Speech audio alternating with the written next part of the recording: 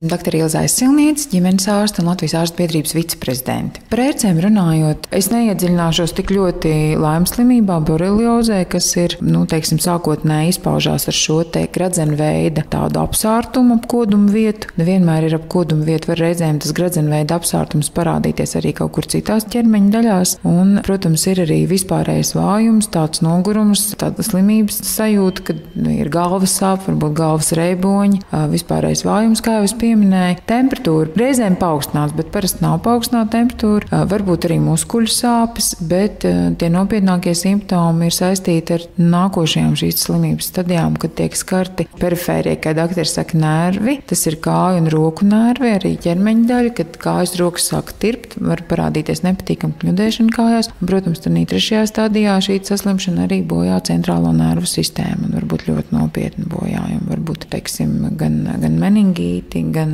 arī cita veida traucējumi no centrālās nervu sistēmas puses. Līdz ar to, ja mēs savakcinējamies paši un savakcinējam savus bērnus pret ērču encefalītu, tik un tā, ejot dabā, mums ir jādomā par to, kā izsargāties no ērcēm. Un no ērcēm tomēr ļoti labi var izsargāties ar šiem dažādiem aerosoliem un smērēm, ko sauc par repelentiem. Bet vajag atcerēties, varbūt filmas, kurās dokumentālās filmas par tiem mūsu planētas iedzīvotājiem, kas turpina dzīvot mežos. Un, ja mēs redzam, tad viņi visi ir ļoti ieļojušies. Kāpēc? Tāpēc, ka, ja mūsu āda ir ieļota, viņa nav sausa, tad kukaiņiem ir grūtāk uz viņas nospie, piesūkties pie viņas un arī rāpot pa šo ādu. Līdz ar to, ja mēs dodamies kaut kur ārpus mājas, dodamies pļavās vai uz mežu, tad vajag atcerēties, ka ērces dzīvo nu, zāles augstumā, metra augstumā apmēram vairāk un dzīvo mitrās vietās. Tādas ļoti sausas vietas ērcēm nepatīk.